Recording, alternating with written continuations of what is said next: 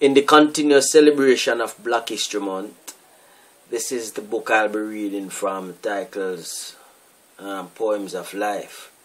So, have yourself a perfect Black History Month, you know, man. And this is Jah Henchman coming to you live from Poems of Life Poetry Book.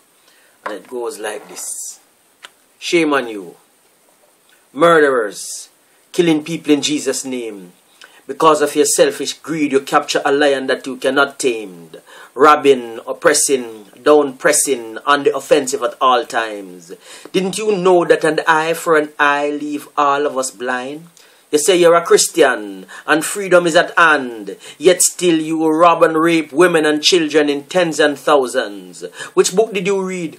Couldn't be the one of God. Because Matthew 5 verse 5 said, Blessed are the peacemaker, they shall be called children of God. Listen in good faith. Don't be too uptight. Because of your hatred for my race, you vote in Congress to support apartheid. Watch and pray. You claim that you love freedom so much, yet still you vote against Martin Luther King public holiday. The blood of the innocent is on your shoulder, and it will not wash away. Your spirit will not rest because of the good men you led astray. Your generation will be impoverished because of the massive debt you must pay. And when you're dead, your children, children is responsible for every drop of blood from my people that was shed. Shame on you. Shame on you.